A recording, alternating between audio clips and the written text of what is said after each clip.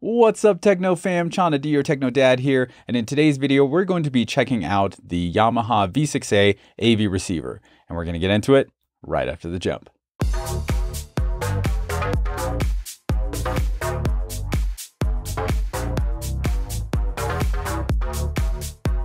And I'm back. Now, before we begin, I want to take this moment to give a big shout out to my patrons on Patreon. Thank you so much for supporting my channel and my journey here on YouTube.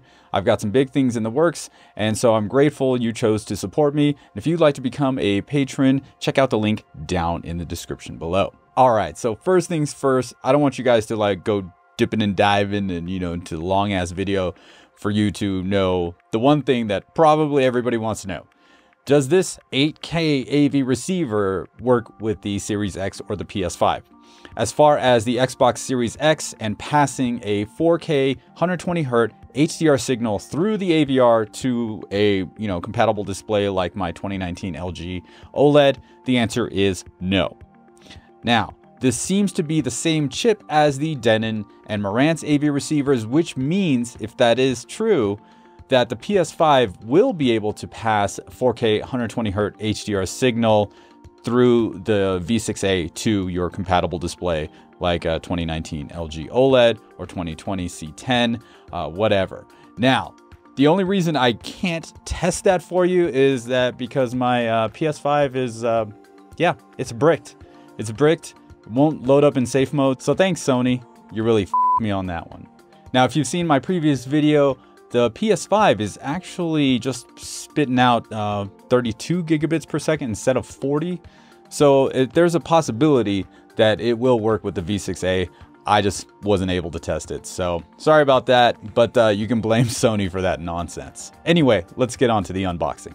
The Yamaha RX V6A retails for 599 and it's really hard to find at the moment. eBay seems to be the place to get one right now. The V6A is a 7-channel AVR that will support 7.1 or 5.1.2 Atmos speaker configurations and is rated at 100 watts per channel into 8 ohms full bandwidth with 2 channels driven.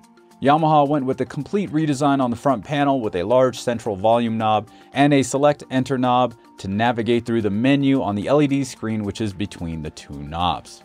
The Yamaha also has a few buttons on the front panel which include zone controls and scene selection. Watch out though, that front panel, it's a fingerprint magnet. On the very bottom we have the power switch, USB port, calibration mic input, and a quarter inch headphone output. On the back we have 9 speaker outputs on the bottom.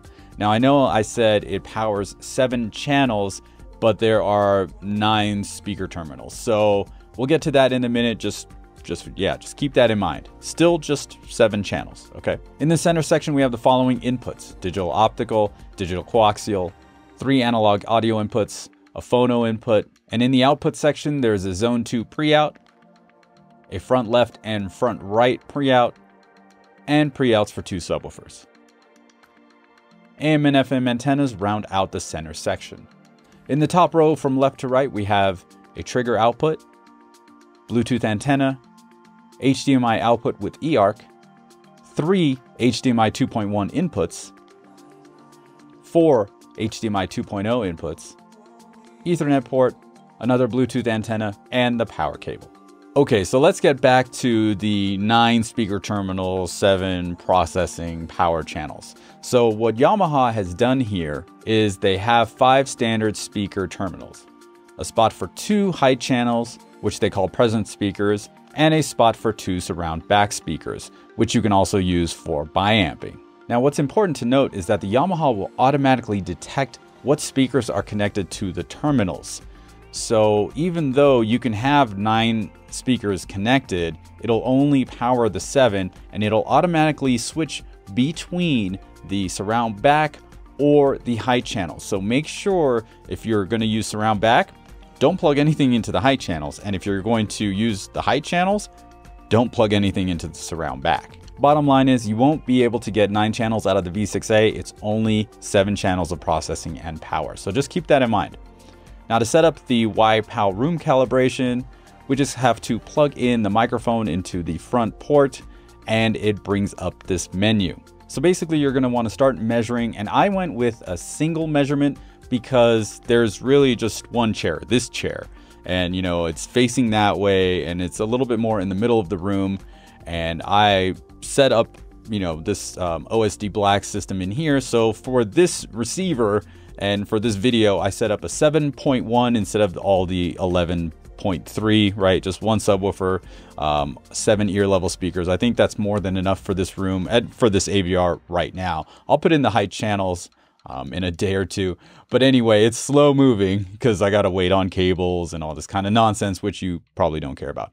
Anyway, the Yamaha will do a pre-check where it will determine which speakers you have connected. Here we go back to the automatic detecting of the surround back versus the high channels. So again, make sure only one pair is plugged in, whichever one you are actually using.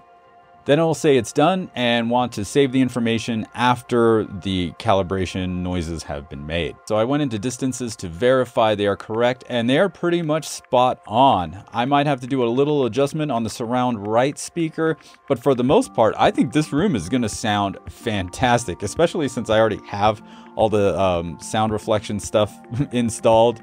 And uh, yeah, it's gonna sound pretty cool. That's 7.3.4. So if you haven't subscribed uh, to the channel, make sure you do now. And don't forget to hit the bell so you get notified when the next video is released because that's going to be a pretty cool video. Now, as far as the pairing of this OSD Black system with the V6A, I think it's pretty good. The AVR had no problem, you know, powering these seven speakers by itself. Don't need a power amp. And for the $700 for the 11.3 setup, you've got room to grow if you decide to pick up a larger AVR in the future. So it sounds really great in this room. I haven't put in the height channels as of yet, but I will be hanging on to this AV receiver since I did have to buy it, which is just ridiculous these days. But hey, you know, you gotta do what you gotta do sometimes. So just to verify that Atmos is set up properly, I hit play on Lucy on the Zappiti, which is going into HDMI 1 on the AVR. And if we go to the info screen, we can see that it's receiving Dolby Atmos signal via Dolby True HD. So if you have any questions about this AVR, like if you want a video on how to set up ARC eARC, let me know down in the comments below. Or if you have questions about anything else, let me know down in the comments or on social or email, whichever you like to use.